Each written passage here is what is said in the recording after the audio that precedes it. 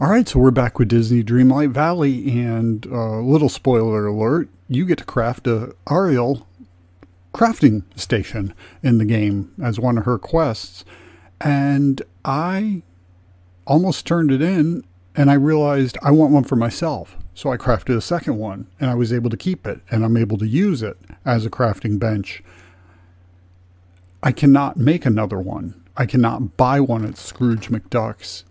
And if I put it in my inventory, I see it in his Scrooge McDuck's furniture catalog for one star coin, but it tells me the item is hidden and I can't buy it.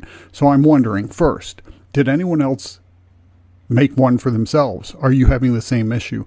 And second, did anyone not make one for themselves? And can you now craft one or buy one from Scrooge McDuck?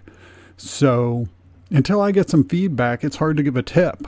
You know, if you want extra, then you can definitely make them, but it might be better to wait. I don't know. So, hmm, until I get some feedback, that's it. I appreciate y'all. I'll be coming up with some more videos. I finished all the quest line. I have no more progress until the new content comes out. I think Lion King comes out first uh, in the next month or two, maybe, and then shortly thereafter, the Toy Story content's supposed to come out. So I will be showing you a little more around. But that's it for today. Thanks to all the new and uh, continuing subscribers and everyone who's interacting with the channel.